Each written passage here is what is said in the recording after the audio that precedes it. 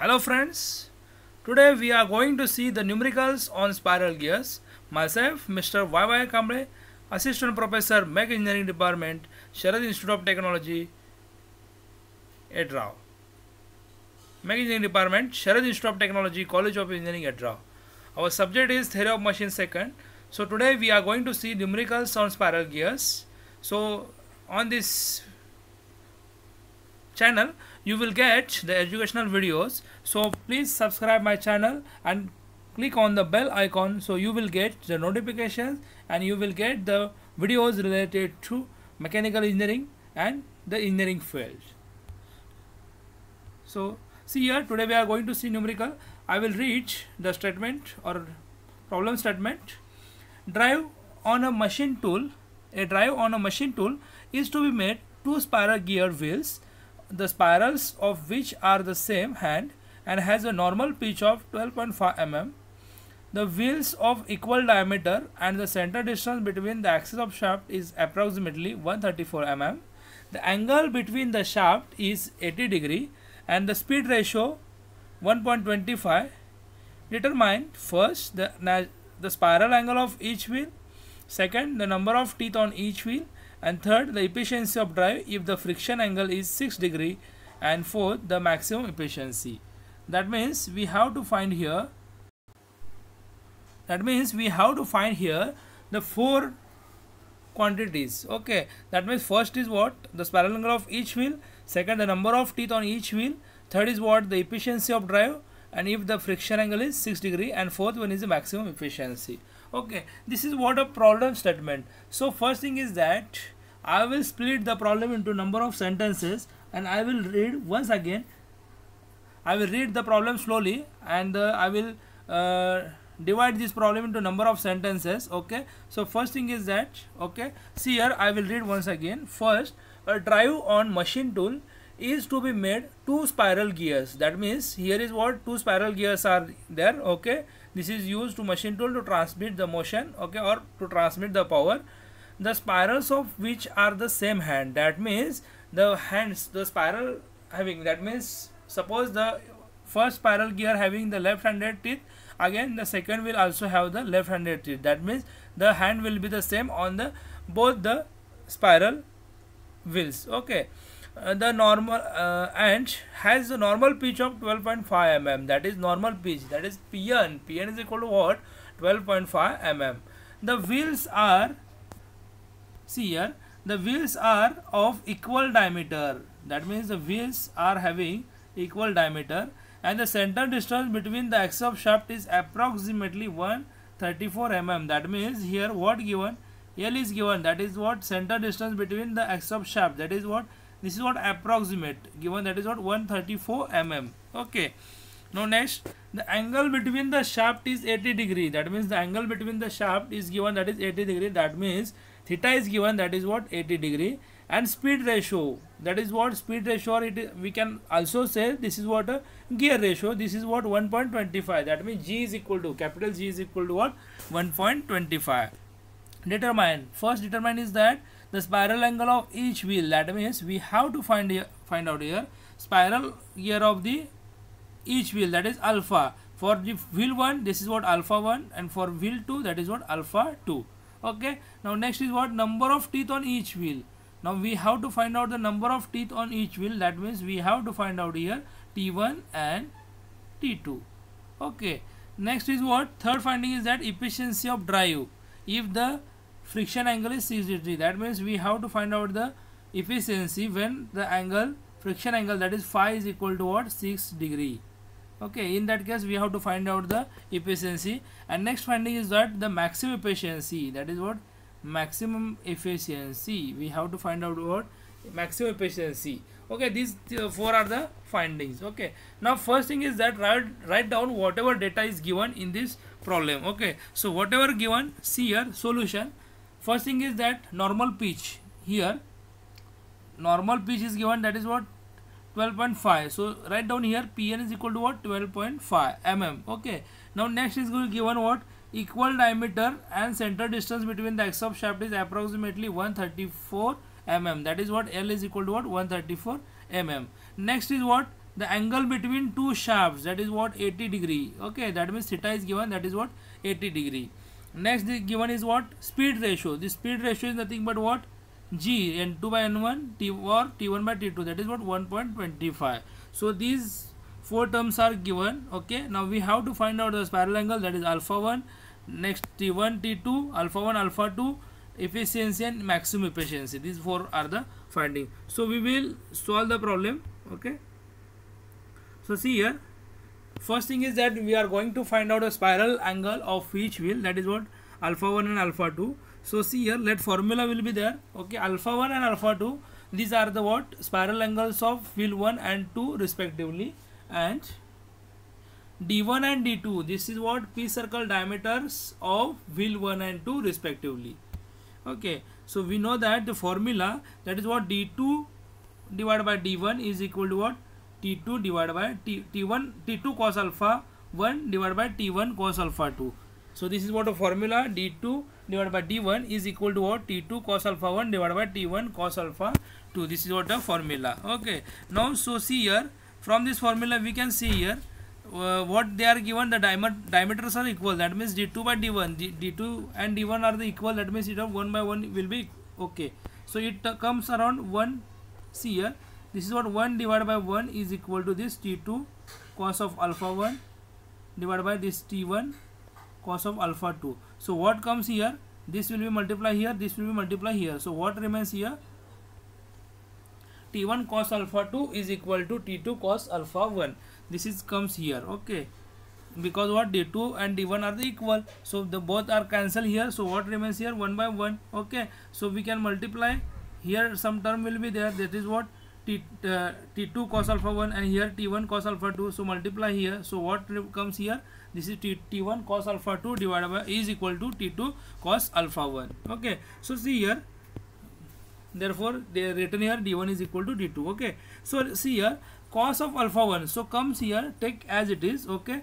We can take here this cos alpha 1 divided by this cos alpha 2 and this t2 comes here. Okay. So what remains here? Cos alpha 1 divided by cos alpha 2 is equal to t1 divided by t2 okay so we know that the t1 divided by t2 this is nothing but what? Gear ratio g. We have the value of gear ratio g that is what 1.25 so put here okay. So the, here is what? Cos alpha 1 divided by cos alpha 2 is equal to t1 divided by t2 is equal to 1.25 okay so see here this is what?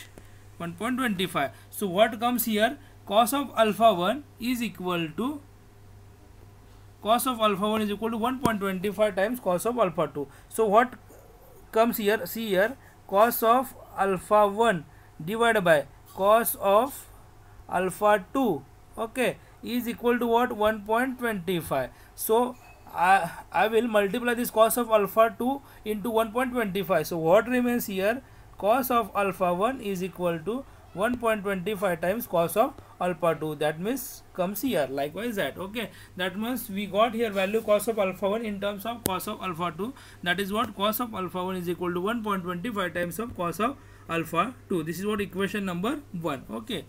So we can take on this is what equation number 1 we also know that okay alpha 1 plus alpha 2 is equal to theta. That means 80 degree. That in problem they are given the shaft angle between the shaft that is what 80 degree. Okay that is nothing but what theta. And we know that theta is nothing but what alpha 1 plus alpha 2 so we can write here in terms of alpha 2 in terms of alpha 1 so alpha 2 is equal to what 80 degree minus alpha 1 this is what equation number 2 we can or we can put this value of alpha 2 into equation number. So we can put this value alpha 2 is equal to 80 degree minus alpha 1 into equation number 1 okay. So what comes here? See here. Cos of alpha 1 is equal to 1.25 times of cos of alpha 2 we have the value of alpha 2 okay. So put here value of cos of alpha 2 okay. So see here cos of alpha 1 is equal to what? 1.25 times cos of 80 degree minus alpha 1 so see here 1.25 cos of cos 80 degree cos alpha 1 okay. Plus sine 80 degree sine alpha 1 that is what formula will be there okay? So by using this formula we can directly this is what cos a minus b. Likewise that will be there okay? So here is what cos a cos b plus sine a sine b. Likewise that this formula will be there okay? Defactorization formula will be there. So what comes here? 1.25 times of cos 80 degree cos alpha 1 plus sin 80 degree sin alpha 1 okay?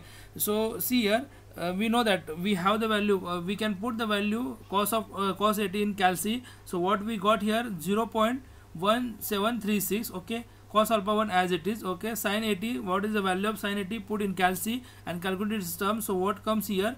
Okay cos 90 is equal to 1 okay? So this value cos sin 80 sin 80 must be below 1 sorry. Just this cos 80 so sorry sin 890 sin 90 is equal to what? 1 so sin 80 must be less than 1 so it comes around here 0.9848 into sine of alpha 1 okay. Now multiply by this 1.25 into all terms. Okay. So what comes here? If we multiply see here. If we multiply this 1.25 to this term okay and again plus 1.25 into this term. So what comes here? See here 0.217 cos of alpha 1 plus 1.231 into sine of alpha 1 okay. So this is what a value. So therefore this is what cos of alpha 1 is equal to this value. Okay. Now see here. On left hand side here is what cos of alpha 1 will be there. See here I will write here.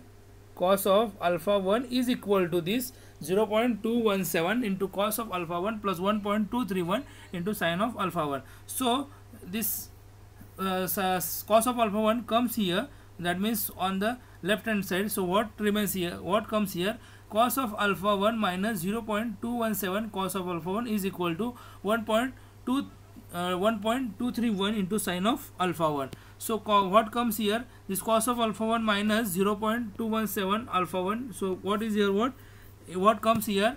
0 0.783 cos of alpha 1 is equal to 1.231 into sine of alpha 1 okay. Now see here here is what cos of alpha 1 will be there and here is what sine of alpha 1 is there. Okay. So we can find out here sine of alpha 1 divided by cos of alpha 1 so what comes here? What? Tan of alpha 1 okay. So tan of alpha 1 is nothing but what? We directly put a 0.783 divided by 1.213 okay. So see here tan of alpha 1 is equal to what sine of alpha 1 divided by cos of alpha 1 is equal to 0.783 divided by 1.231 okay this is what tan of alpha 1 so we we have to we want to find out the value of alpha 1 so alpha 1 is nothing but what? Tan inverse of whatever constant may be there. Okay so constant is nothing but what? This 0.783 divided by 1.231 okay so what comes here? See here this is what alpha tan of alpha 1 is equal to what? 0.636 okay this is what the value. Okay this is what tan alpha 1 so alpha 1 is equal to nothing but what? Tan inverse of. This alpha 1 see here. Just I will okay. So see here. Huh this alpha 1 is equal to what? Tan inverse of this 0.6 will be there. Okay. Just I will write here tan of uh, sorry. I will write here alpha 1 is equal to what? Tan inverse of this 0.636 so what comes here? This alpha 1 is equal to what? 32.46 degree. This is what alpha 2 alpha 1 so we can find out the alpha 2 alpha 2 is nothing but what? The alpha 1 plus alpha 2 is what? Theta. Theta is nothing but what? 80 degree. So alpha 2 is directly what? 80 degree minus this 34.46 degree. So alpha 2 is equal to what? 47.54 degree. Okay this is what alpha 2 this is what first finding is over. That means first finding is that they want uh, they what they asked they asked the spiral angles of the wheel 1 and wheel 2 that is what alpha 1 and alpha 2 we already find out alpha 1 and here is what alpha 2 now next finding is that number of teeth on each wheel. Okay that means we have to find out here t1 and t2 okay. Now see here let t1 is equal to what number of teeth on wheel 1 okay. And t2 is nothing but number of teeth on wheel 2 okay. So we know that the center distance between two shafts the l is equal to center distance is given that center distance L is equal to 134 so the center distance is equal to what? D1 plus d2 divided by 2 okay. That is what? 134 value will be given this d1 plus d2 divided by 2 but in this problem they are given d1 is equal to d2 so directly what we got here this 2 times d1 2 2 get cancel here. D1 is equal to 134 see here in this problem just I will write here uh, 134 is equal to what? D1 plus d2 divided by 2 okay in this problem what they are given? The diameter of the both uh, what uh, both gears are same. That means 134 is equal to 2 times d1 divided by 2 okay this 2 2 will cancel here. So d1 is equal to what? 134 both diameters are same. That means we can write here is equal to d2 so d1 is equal to d2 is equal to what? 134 mm. This is what the diameter. Okay. Now we know that d1 is equal to what? Pc1 into t1 divided by pi. Okay. Instead of pc1 we can write down here pn divided by cos of alpha 1 okay. This is what a formula we seen in the uh, spiral gears okay? D1 is equal to what?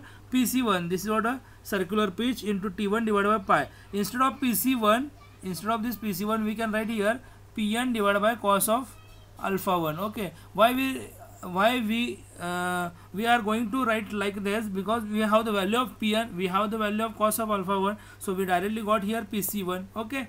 So pc1 into t1 divided by pi okay? Instead of pc1 we can write here pn divided by this P N divide by cos of alpha one into T one divide by pi okay pi is got constant we have to find out D one we have the value of D one so see here we have the value of D one pi is got constant P N we have the value of P N we have the value of alpha one so cos of alpha one is there okay so we directly find out here T one okay now see here T one is equal to what pi into D one into cos of alpha one divide by P N okay so put the values that is what pi will be constant. D1 is equal to 134 into cos of alpha 1 alpha 1 is what? 32.46 divided by this 12.5 that is what value pn pn that is what normal pitch is there. This is what 12.5 so we directly got that is what t1 the number of teeth on wheel 1 okay. So see here. This is what? 28.4 is equal to 30 that means from the center distance we got here 28.4 or uh, we can directly take as it is okay? So see here this is what we got value 28.4 that means take the whole number as 29 but we can't take like that. We can take the whole number is equal to what? 30 okay? So see here and t2 is equal to t2 is equal to what? We know that the formula t1 divided by t2 is equal to what? G. That is what gear ratio g is equal to what t1 divided by t2 we have the value of g we have value of t1 so we directly find out the t2 t2 is equal to what? This t1 divided by g. Okay so t2 is equal to what? T1 divided by g. We have the value of g that is what? 1.25 that means t2 is equal to what? 30 divided by 1.25 it comes around 24 this is what a t2 okay now next this first finding is over. Next second finding that is what? Number of teeth on wheel 1 and wheel 2 this one is also over okay? Now next is what? Efficiency of drive. Now next finding is what? Efficiency of drive. So uh, formula for the efficiency of drive. We know that the efficiency of drive so efficiency of drive that is efficiency equal to what? Cos of alpha 1 uh, alpha 2 plus phi into cos of alpha 1 divided by cos of alpha 1 minus phi into cos of alpha 2 okay? So terms are the only terms are changing. Both are the same okay? So see here uh, we have the value of alpha 2 we have the value, of phi we have the value of alpha 1 so put here. So cos of 30 uh, 80 degree plus 6 degree plus 1 okay? And again cos of 80 degree um, minus 6 plus 1 so what comes here? This is equal to what? 0 0.83 that means 83 degree. The efficiency of drive is what? 83 degree okay? Now next finding is that we have to find out the maximum efficiency so maximum efficiency you know that the maximum efficiency is equal to what? Cos of cos of theta plus phi plus 1 divided by cos of theta minus phi plus 1. So put the values here cos of 80 degree plus 6 degree plus 1 uh, into divided by cos of 80 degree minus 6 degree plus 1 so it comes around maximum efficiency what? 80 0.838 or we can simply say and it is what 83.8 degree uh, percentage sorry. It is what 83.8 percentage. This is what a maximum efficiency. That means there they asked four findings. First is what? We already find out alpha 1 and alpha 2 that is what angle spiral angles of gear 1 and gear 2 okay next finding is what finding is what uh, number of teeth on wheel 1 and wheel 2 that is t1 and t2 we already find out. Next is what? Efficiency. They asked efficiency we calculated efficiency and next is what? Maximum efficiency. And we we already calculated here what? Maximum efficiency. The slight change will be there in uh, normal efficiency maximum efficiency. The normal efficiency comes around 80 degree 80 per, 83 percentage okay? And this maximum efficiency comes around what? 83.8 percentage. That means the zero uh, uh, what is that? We can say here 0.8 uh, percent variation will be there okay so this is what a numerical uh, based on spiral gear okay? So thanks for watching this video and click on the uh, subscribe my channel and click on the bell icon so you will get the notifications of videos related to engineering